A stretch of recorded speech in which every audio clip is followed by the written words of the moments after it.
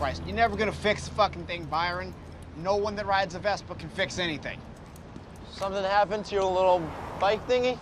Yeah, it's a Vespa and it stopped working all of a sudden. Oh, weird. What the hell are you doing here? I came to drop off some of the stuff you left in my place. That it? And I was hoping that we could talk in private.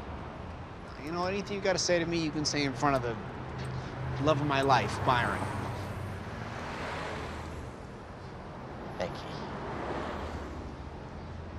Okay. It's a mistake coming. Yeah.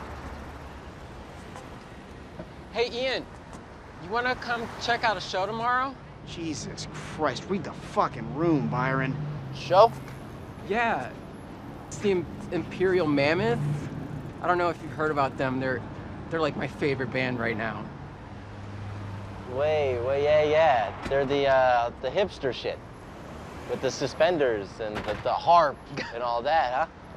Yeah, you're going to that. I can get you on the list too. I mean, I, I don't know if you need a plus one or whatever, No, but no, he don't need a plus one, trust me. Ian's got a lot of, uh, what'd you say, personal work you needed to do before you'd be ready to play the field? No, no. Uh, actually, I just took a page out of your playbook and attached myself to the first swinging dick I saw we barely know each other, but man, it has been a fairy tale so far. It's actually why I came here. uh, looks like we both moved on, so no reason for things to be awkward, right? Congrats. Yeah, it all happened so fast, but when you know, you know. Right?